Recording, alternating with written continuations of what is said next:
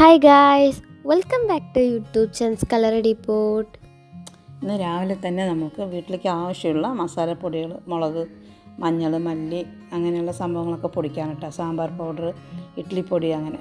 വറ്റൽമുളക് വാങ്ങി കഴുകി ഉണക്കിപ്പിച്ചെടുത്താണിത്.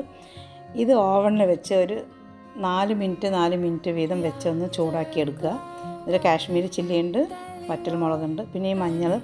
നമ്മൾ വീട്ടിൽ ഉണ്ടായ മഞ്ഞളാണ് കേട്ടോ അത്.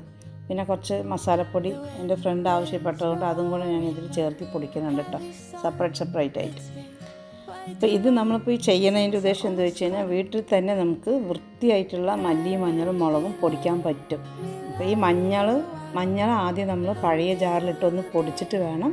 പുതിയ ജാറിലിട്ടിട്ട് പൊടിച്ചാൽ നന്നായിട്ട് പൊടിഞ്ഞ് കിട്ടും. നമ്മൾ എത്ര ഉണക്കിപ്പിക്കണോ അത്രയും അത് പൊടിഞ്ഞ് കിട്ടും. പിന്നെ അതുപോലെ മല്ലി മല്ലി കുറച്ച് പൊടി ഒരു തരിതരിപ്പായിട്ടാണ് കിട്ടിയിരിക്കുന്നത്. പിന്നെ നമ്മൾ മസാല എടുക്കുമ്പോൾ നമുക്ക് ഒന്നും കൂടെ അരച്ച പേസ്റ്റ് രൂപത്തിലാക്കിയിട്ടാണല്ലോ നമ്മൾ എടുക്കുക.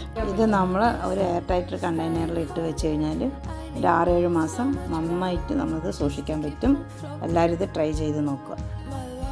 അപ്പോൾ ഗൈസ് ഈ വീഡിയോ എല്ലാവർക്കും ഇഷ്ടപ്പെട്ടു എന്ന് ചോദിച്ചാൽ ലൈക്ക് ചെയ്യണം ഷെയർ ചെയ്യണം സബ്സ്ക്രൈബ് ചെയ്യണം